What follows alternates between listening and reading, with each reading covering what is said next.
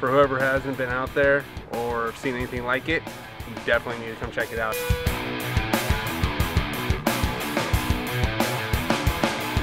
It's a Burning Man for off-road vehicles and there's thousands and thousands of people